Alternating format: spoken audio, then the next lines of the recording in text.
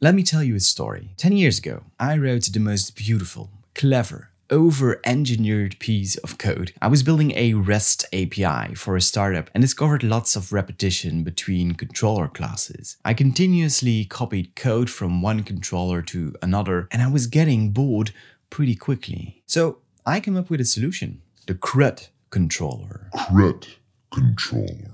It was a beautifully complex, abstract class. It had every possible CRUD operation and automated everything. The only thing left for me to do was to create a new class, extend from my amazing CRUD controller, provide an entity class, and be done.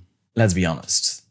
Haven't we all been there? Abstract code, like my CRUD controller, it makes us feel so clever when we're writing it, but more often than not, it really doesn't serve the purpose we like to make ourselves believe. This CRUD controller, it was so complex that even I didn't understand it anymore. It turned out there were subtle differences between controller classes, and I just kept adding flags and config options to it. It grew into a mess pretty quickly. It also didn't save any time if you account for all the, the, debugging and bug fixing I had to do. Maybe it would have been better to write some kind of class generator or just copy code. I learned an important lesson. Boring code is beautiful. It doesn't try to be clever. It doesn't take shortcuts. It reads easily from top to bottom. It doesn't try to minimize the amount of characters written or maximize the amount of abstractions made. It's just boring. I should do myself, my future self, and colleagues or collaborators a favor. Keep it boring because code